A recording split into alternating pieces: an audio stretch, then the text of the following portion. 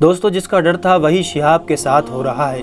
किस तरह शिहाब के इस पैदल हज के सफ़र को लोग मज़ाक में लेकर खुद पैदल हज के सफ़र पर निकल चुके हैं जिनकी सच्चाई अगर सुनेंगे तो हैरान रह जाएँगे।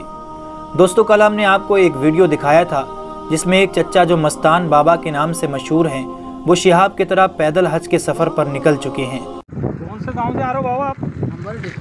हाँ महाराष्ट्र में? हाँ एक वो जा रहा है जो पूरे वो एक हाँ वो जा रहा है केरला का। केरला का वो पूरे उस पर प्रचार और वो चल रहा है। वहाँ उसका तो बड़ा आदमी और है। एक आप हो कि किसी को पता बहुत गरीब हूँ। जो कहते हैं कि मैं बहुत गरीब हूँ शिहाब तो अमीर है उसके साथ तो पूरा ज़माना है। अब बताइए क्या गरीब के ऊपर हज फ़र्ज़ है? और इन मस्तान बाबा से जब पूछा गया कि आप हज पैदल करने किस तरह जाएँगे? पंजाब जाऊँगा।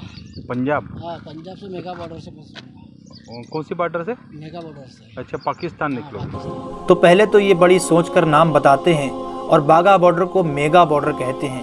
और फिर जब ये वीडियो बनाने वाला मस्तान बाबा से पूछता है कि आपने सारे देशों का वीज़ा और उसकी परमिशन ले ली है? तो वीज़ा सभी देशों का ले लिया होगा बस अल्लाह है मैं आगे चल रहा हूँ आ जाएगा पीछे से। तो मस्तान बाबा ने कहा बस अल्लाह है मैं आगे चल रहा हूँ वीज़ा पीछे से आ जाएगा। ये तो ऐसे ही हो गया दोस्तों कि मैं एग्ज़ाम नहीं लिखूँगा और अल्लाह मुझे पास कर देगा।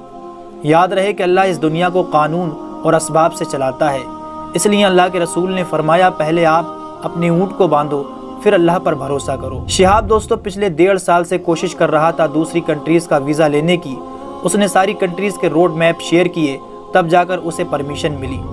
और ये चचा सिर्फ़ शिहाब का वीडियो देखकर ही पैदल हज पर निकल चुके हैं। शिहाब पिछले एक साल से ये सारी परमिशन और जितनी कंट्रीज़ से शिहाब को गुजरना है उनको अपनी मेडिकल भेजी और बताया कि ये फिजिकली और मेंटली बिल्कुल फिट है ट्रेवल करने के लिए। तब जाकर वो हज पर पैदल निकले हैं। इसलिए हम सबने शिहाब को सपोर्ट किया। मगर अब हर कोई बिना पासपोर्ट और वीज़े के बगैर झोला लेकर निकल पड़े। देखिए दोस्तों, हर काम हर कोई इंसान नहीं कर सकता। ये सबके बस की बात नहीं होती और ये इतना आसान नहीं जितना आपको नज़र आ रहा है। ये किसी की नीयत पर शक नहीं है, मगर आप मलंग बनकर, फकीर बनकर ऐसे पैदल हज पर ना निकलें और ना पैदल हज का तमाशा बनाएँ। ये चचा जो मस्तान बाबा और नूर बाबा के नाम से भी मशहूर हैं, जो कि महाराष्ट्र के जलगांव से पैदल हज पर निकले हैं, इनके पास ना तो कोई वीज़ा है और ना ही कोई परमिशन।